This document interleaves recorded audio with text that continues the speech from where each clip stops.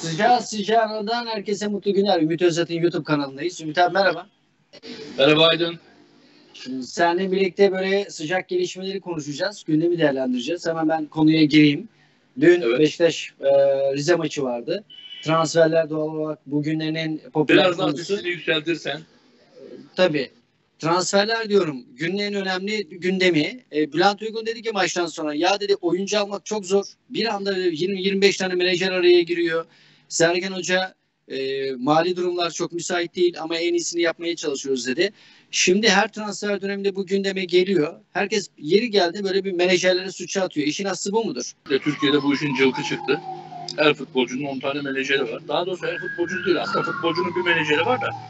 Hoca bir hoca istediği menajerle gelmesini istiyor. Yönetici kendi istediği menajerle gelmesini istiyor. Yani bu işin aslı ne peki? Bülent Uygun'a veyahut da Rize Spor'a e, e, göre bir şey değil. Herkes, her kulüpte bu sorunlar yaşanıyor. Bu işin aslı şu. Oyuncu sağlamsa, oyuncu iyiyse, oyuncunun kulüp problemi yoksa, oyuncunun kulüp bulma problemi yoksa oyuncu istediği menajerle geliyor. Ama oyuncu ortada bir oyuncuysa, oyuncunun tamamen hem ye- yeterliliğiyle alakalı bir şey, hem de kişiliğiyle alakalı bir şey. Oyuncuyla ben bir önce paramı kazanayım, nasıl bir yere bir önce kapak atarım diye düşünüyorsa, oyuncunun menfaati neresi geliyorsa oyuncu orayı tercih ediyor. Her zaman oyuncu da tercih etmeyebiliyor. Ee, yani şimdi genelde kulüplerde Türk hocalarla yöneticiler arasında çıkan sorunun temel sorunlarının başını bu çekiyor. Her yönetici kendi transferini yapmak istiyor. Her yönetici kendi menajerini sokmak istiyor. Bugün Türkiye'nin en kariyerli teknik adamı Fatih Terim bile her istediği transferi yaptıramıyordur emin olun. E, bu Ee, şeyden ötürü mü? Yönetici sokmak istediği için mi diyorsun abi yani bu? Yani bunu Galatasaray nezdinde söylemiyorum. Bütün kulüpler. Bu bir Hı. teşbih hata olmaz. Bir örnek veriyorum. Yani bugün Sergen Yalçın da her istediği transferi yaptırmıyordur. Yapamıyordur. Bugün Pereira da her istediği transfer yapamıyordur. Maalesef bizim ülkemizde böyle ama İngiltere'de e, neden menajer diyorlar. Hiçbir oyuncu transferi hocanın e, bilgisi dışında bilgi bir, e, olmaz. E, Türkiye'de de sorulur ama o bazı kulüpler şunu yapıyor diyor ki hoca transferi biz yaparız. Sana bir liste sunarım. Buradan istediğini seç diyor ama eninde sonunda hoca da oyuncu istiyor. Yani tamamen hoca ile yöneticinin e, egosunu tatmin eden e, savaşlar. Maalesef işin sonunda kaybeden hocalar oluyor. Şimdi bir diğer yandan e, özellikle yani e, bu transferde karar vericinin teknik adam olması lazım ya. Şöyle e, teknik olarak teknik adam Ama olması bazen lazım. de, bazen de deniyor ki teknik direktöre transfer yaptırılmaz falan gibi bir de şey. Şöyle. Böyle bir işte bütün bunlar- var. Aydın kulüplerin doğru bir yapısı olmadığından kaynaklanıyor. Aslında kulüpler genel hatlarıyla planlamayı yaparlar. Gelen hocaya derler, derler ki kulüp e, takımımız bu. Senin de iki ya da üç tane oyuncu alma hakkın var hocam. Ne diyorsun? Veyahut da takım bu. Transfer yapmayacağım. Bunlar söylenmediği için teknik adam gidene kadar her türlü tavizi veriyor. Gittikten sonra hepsi Fatih Terim olmaya çalışıyor. Yok transferi ben yaparım. Yok onu ben alırım. Bunu yönetici de e, birçok yöneticinin kulüpler rant kapısı bu bir gerçek yani. E, dolayısıyla onlar da böyle bir rant kapısını bırakmak istemiyorlar. E, ispat edebilir misin dersen ispat Yani edemezsin. va- va- va- vaziyet bu mudur Ümit abi? Türk futbolunun vaziyeti bu maalesef. Vallahi çok çok çok çok çok üzücü. Peki Hiç kimse kusura bunları- bakmasın. Ya yoksa bu kadar işi olan adam, bu kadar işi gücü olan adam niye bu işlere girer? Yani bunu hepsi mutlaka yüzde on, yüzde yirmi e, istisna vardır ama yüzde yetmiş, yüzde sekseni bu dediğim işin içinde. Yani şimdi, ben bunu kulaklarımla duydum. Çalıştığım bir kulüpte, Hı. çalıştığım bir kulüpte menajer ve başkanın yanında otururken bir oyuncu bunu itiraf etti. Başkan orada, menajer orada. Ben bunu kulaklarımla duydum. Ne, nasıl bir Bunu- itiraftı? Nasıl bir itiraftı? Yani bu işlerin nasıl olduğu olması gerektiğini yani e, şunu anlatmaya çalışıyorum. İsim önemli değil. Dolayısıyla bunlar bizim gördüğümüz, yaşadığımız şeyler. Anlatabildim mi? Dolayısıyla e, ya sessiz kalacaksın e, ya bütün şartları kabul ederek gideceksin. E, bazı yerlerde şimdi bu tamamen güvenle alakalı bir şey. Güven çok pahalı bir şey. Herkes de bunu satın alamıyor maalesef. Dolayısıyla Şimdi- Hı. Çok kuvvetli. Ya bugün Sergen Yalçın şampiyon teknik direktörü. Doğru mu? Doğru mu? Doğru. Her istediği oyuncuyu aldırabileceğini zannediyor musunuz? Ee, yani talepleri vardır. Ee, aldırabilir Vardır. diye ve, ve bir düşünüyorsun yani. Şu başka şundan bir şey. ötürü şundan ötürü e, adam çalışacak sonuçta. Ee, Ümit Aydın, Özat, ben kulübün- çalışmayacağım. Tamam. Kulübün bütçesi uymaz alamayabilirsin ama O ayrı bir şey. Ama şu var inanın ki bana her kulüpte yöneticiler hocaların çalıştığı menajerlerden, hocalar da yöneticilerin çalıştığı menajerlerden rahatsız. Büyük bir rant olduğu için herkes kendi çevresine iş yaptırmak istiyor. Bunu kimse itiraf etmez ama işin gerçeği bu. Vay be. Peki Ümit Özat bir E bu diğer detay. ti- ticarette de böyle değil midir? Siyasette de böyle değil midir? Her şeyde böyledir. Bu aslında yadırganacak Yani bu, bir şey değil. bu, bu yöneticilik gönüllülük esası barındırdığı için e, o zaman doğal olarak yani bek, görüntü o yani. Türkiye'de Niye yöneticilik- Gönüllülük esası Ya ne gönüllülüğü, ne gönüllülüğü. Yani şimdi ben sana bir şey söyleyeyim. X kişi gelmiş de 50 milyon euro vermiş. 50 milyon kişi örneğin 5 milyon insan aç birer biner lira ver desen vermezler. Ve efendim ben geldim Fenerbahçe'ye Galatasaray'a Beşiktaş'a 50 milyon euro verdim. Neyi verdin? Kimin parasını verdin? Karşılıksız neyi verdin? Verdiysen temlik koyuyorsun, geri alıyorsun.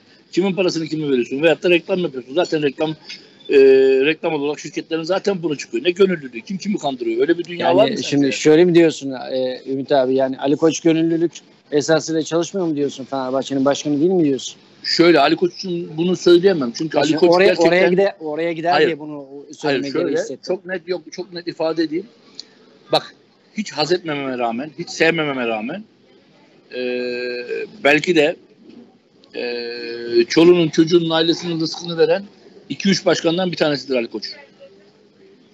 Ve menajerden, ondan, bundan, transferden beklentisi olmayan belki de iki, yani üç demiyorum, iki başkandan bir tanesidir. Bak E, doğaldır. Sev- doğaldır. yani buna ihtiyacı yok anlatabildim mi?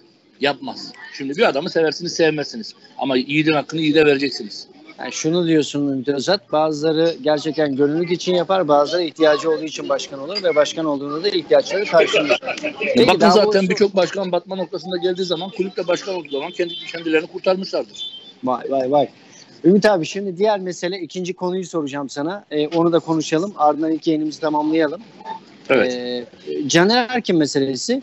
Şimdi Fenerbahçe'de ho- hocanın sisteme uymadığı gerekçesiyle yolladı.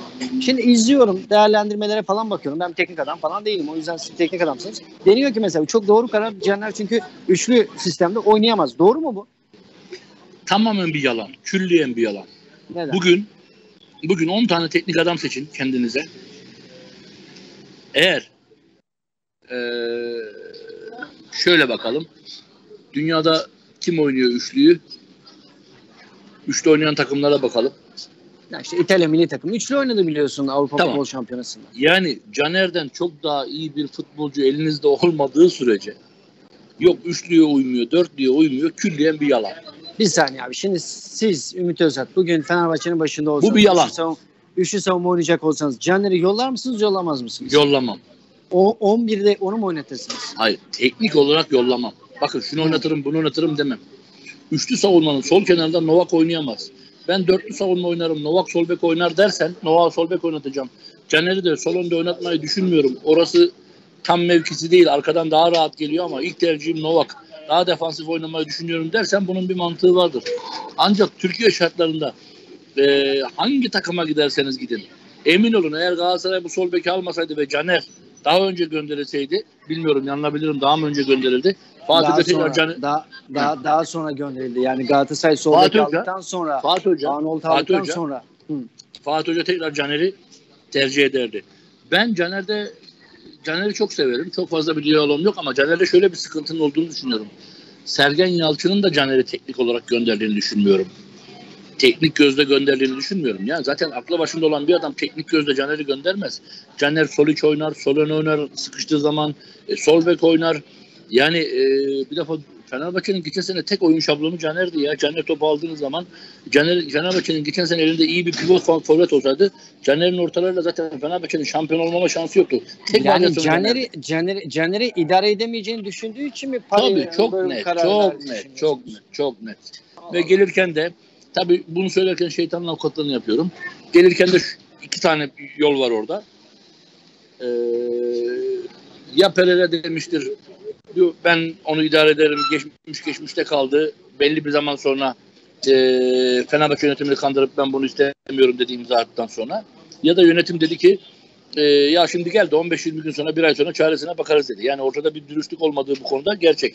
Caner'in teknik olarak gönderildiğini düşünmüyorum. Yani teknik olarak Caner'i gönderdim diyen adamın futbol aklına şaşarım. Yani Caner bugün Yani bugün Trabzonspor'un bile Caner'i almamasına hayret ediyorum yani. Caner Ama orada kotayı da olurlar. İsmail Köybaşı'nı aldı. olabilir, Zaten olabilir yani var. iyisini bulduğun zaman işte zaman al, e, diğerinin yüzüne bakmayacaksın. Hayat böyledir. Ama abi. mesela bir, bir taraftan Şenol Hoca da mesela Caner'i Avrupa Şampiyonası'na götürmedi. ne oldu götürmedi? Savunması yok diye. Savunması yok. diye. Götürmedi mi? E, sav- Umut Meraş'ın savunması mı vardı? Yok. Rıdvan Yılmaz'ın savunması mı Yok vardı? mu? Yok Ne mu bu oldu? Kaldı ki Şenol Güneş Dünya Kupası'nda e, İtalya gibi bir takıma senede en az 20-25 tane lig maç oynamış, Sassuolo'da 25 maç oynamış Mert Müldür'ü sol bekte oynatsaydı çok daha iyi olurdu. Umut Meraş iyi oyuncu ama yani Umut Meraş'ın savunmasının Caner'den iyi olduğunu söylemek bana göre akılla bağdaşmaz. Kaldı ki Caner'in hücumunun ondan iyi olduğunu düşünürsek, zaman zaman da en iyi hücumun en iyi savunmanın hücum olduğunu düşünürsek, yani orada başka şeyler var. Yani muhte- muhtemelen artık e, Caner de yaşlanınca belki artık e, daha mı fazla konuşuyor bilmiyorum ya da idare edemiyorlar mı? Hı. Burada bir sıkıntı var. Yani şimdi Ama Gökhan Gönül'ü gerek- almamasını anlarım. Bak Gökhan Gönül'ü almamasını anlarım. Zeki Çelik formda, Lille'de oynuyor. Ama Caner'den iyi elinizde kim var? Umut Meraş. Nerede oynuyor Umut Meraş? Fransa 2. liginde. E bugün Caner ben bir yere gidiyorum dese Fransa Lig 1. birinci ligde her takıma transfer yapar. Bundesliga'da her takıma transfer yapar. Yeter ki burada aldığından feragat etsin. Yani özetle diyorsun ki abi gerek Parera gerek Şenol Güneş ben bu adamı idare edemem diyerek Caner'i takımlarında tutmuyorlar. Özeti bu mudur? Ya bu, be- bu benim şahsi görüşüm. Teknik olarak Caner'in O- milli takımda da- ben de. Yani teknik olarak Caner'in Fenerbahçe'de ve milli takımda oynayamayacağını yok savunması zayıf, yok hücumu e, fazla e, demenin akılla bağdaşacak bir tarafı yok. Yani samimi olmak lazım, dürüst olmak lazım. Peki son Ama, abi, ama tercih onların tercihi. bir zamanda bir röportaj vermişsin. Sonra konuda söyleyeyim. Demişsin ki doğru mu yanlış mı diye soracağım. Saçlarım sarı olsaydı, kulağımda küpe olsaydı Fenerbahçe'nin Maldini'si olurdum. Doğru mu? Böyle bir demecim E var mı? tabi, e tabi. yani şimdi şöyle, orada hatta bir sarı körük takmışlar. E şimdi şöyle, bizim tabi vücut dilimiz, vücut dili çok önemlidir. Almanlar bu işi çok iyi becerirler. Yani biz kara kaşlı, kara gözlü olmasaydık, hatta ben Fenerbahçe'den ayrıldığımda dedim ki sağ bek oynasaydım kafayı alırlardı dedim. Ya şimdi arkadaş Fenerbahçe takımına bakıyorsun. Ümit Özat ayrılıyor, Roberto Carlos alıyorlar. Ümit Özat ayrılıyor, Roberto Carlos ve Ederson alıyorlar. Roberto Carlos ve Ederson ayrılıyor, Hasan Ali Kaldırma alıyorlar. Ya bu ne perisi ne lanet olsun. Vay, Adamı- vay, vay. Adama gülerler ya. Ma- manşetim. Adama gülerler ya. Adama gülerler. Üstelik Ümit Uzat ayrıldığında 5 yabancı vardı. E şimdi 14 yabancı var. Sen Hasan Ali kaldığından daha iyi bir sol bek bulamıyor musun? Yani senin kastın Ümit'e miydi? Ne oldu? Roberto Carlos geldi. Sade reklam yaptı. Roberto Carlos'un şampiyon mu oldu? Ha, bu onun futbolcunun küçümsediğim anlamına gelmez. Dünyanın gelmiş geçmiş Carboni ile beraber, Branco ile beraber en iyi 3 sol bekinden bir tanesi. Ama şöyle bir şey var. Yani şimdi Türkiye'deki futbol yapısına baktığın zaman diyorum ya Ümit Uzat'ı gönderiyorsun. Hem Gök Ederson'u hem Roberto Carlos'u alıyorsun. Bunlar gidiyor Hasan Ali kaldırma alıyorsun. Peki Adama tamam. gülerler Şimdi, ya. E, tamam şimdi. Çok iyi de. O söz senin mi abi yani? Benim Tabii ki küpe Tabii saçımda sarı Düşünüyorum diyorsun. ama. Düşünüyorum. Şurada takmayı düşünüyorum. Düşünüyorum. Ee, Ama olur. saçların boyatamam. Şey bu mi? Beyazlaşıyor. Yani nok- nokta küpe mi takacaksın abi yoksa hani Yok büyük sol tarafa takacağım. Sağa takmayacağım. Yani nokta mı şey mi? O nokta küpeler var bir de büyükler Nokta var. nokta nokta küpe takmayı düşünüyorum. Saçlarımı uzatmayı düşünüyorum. Peki Ümit abi görüşeceğiz tekrar. Sıcağı. Görüşürüz. Görüşmek üzere. Hoşçakalın. Çok sağ olun. Sıcağı sıcağına da hoşçakalın. Sıcağı sıcağına da Ümit Özat'la birlikteydik. Ümit Özat'ın YouTube kanalında. Tekrar görüşeceğiz efendim. Keyifli sohbete hoşçakalın.